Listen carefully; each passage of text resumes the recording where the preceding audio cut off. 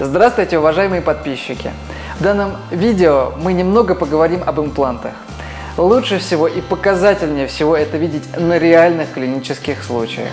В данном случае по причине осложнений кариеса наш пациент потерял боковые зубы в трех сегментах.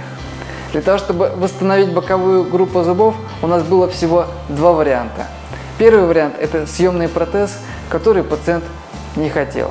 Второй вариант – это несъемные конструкции на имплантантах. В данном случае было установлено 7 имплантов европейского производства. Была подсажена костная ткань в двух сегментах. В одном из них эта операция называлась открытый синус-лифтинг. А также была пересажена десневая ткань с неба. А также была проведена пластика десны.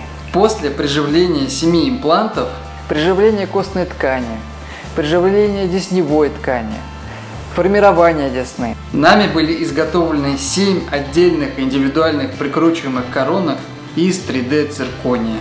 В результате мы обошлись без съемного протеза, получили долговечный и надежный результат и счастливого пациента. Если у вас остались какие-то вопросы, пишите их в комментариях. И будьте здоровы! Я хочу выразить свою благодарность Гранцеву Михаилу. Я обратилась к нему за протезированием зубов. Он очень профессиональный врач. Я считаю, что это врач от Бога.